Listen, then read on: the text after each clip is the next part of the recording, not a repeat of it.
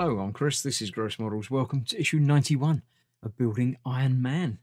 Uh, in this issue, we're going to be building a bit more of the, the uh, waist and the hip. So, uh, yeah, uh, let's have a look at the history of Iron Man a bit more. Uh, more Avengers, trip to Mars. Um, yep, Vision, Hawkeye, Scarlet Witch, Thor, know all of them. Iron Man, Sentinel Liberty, I don't know who that is. Uh, during the almost 60 years of the Avengers history, the periods of the group's lineup not included Captain America or Iron Man. Um, when, yeah, they've not included Captain America or Iron Man. Most of the time, they're in there, which makes sense. They're, they're the big names, aren't they? Uh, so, yes, the abdomen. Part two, we're building the hip connection button, um, fitting that to the, the lower back plate. That's all we're going to be doing today, fitting two screws and two springs into two plastic bits it's fine. It's uh, soon we'll be assembling it to the, the thing and making it all fit together, but not today. Soon, but not yet. Uh, Metal Heroes, uh, greater protection than ever. Uh, Iron Man and his infinite wardrobe. I don't know about infinite. Uh, and Tony Stark is not the only characters who wear suits of armor. Captain America armor. I'm not sure about that. Spider-Man armor. Yeah, I don't like that. That's that's quite cool. That's um Thunderbolts. I Don't know who that is, but quite cool armor. Like the Guardian Alpha Flight. Yeah, I'll go with that. It's quite nice. Uh, War Machine Model 4. Obviously, War Machine gets not quite as many variations as Iron Man does, but he gets some. Uh, so that's that. Obviously, we're looking at Avengers Volume 5, Number 1, uh, from February 2013.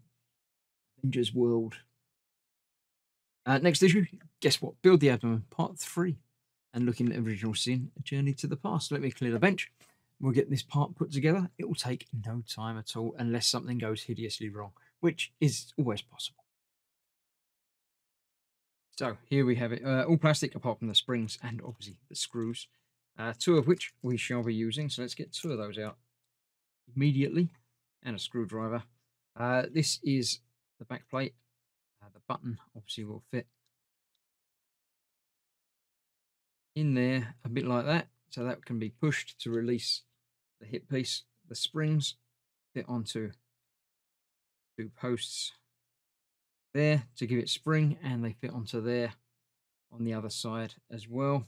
If I get that the right way around, line it up so they do in fact fit. Uh, then it just needs the screws to go in to hold it together. So let's get one of those in. A bit. And then get the other one in a bit as well. And that is that. That was a very, very quick and painless part of the build. Tighten these down. Make sure they are secure. And then we can just test out the button, make sure it does push. Hinges that way. Is that right? Do you think? Feels like something's going to happen. So it's more not so much a springy spring as a hinging spring.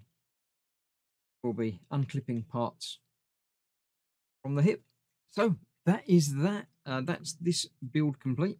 I shall see you very shortly for the next part when we're going to be, obviously, I would assume, adding more to this and possibly adding that to the body itself. I know that's coming up soon. I'm looking forward to it. So I shall see you soon for that. Thanks for watching. Bye bye for now.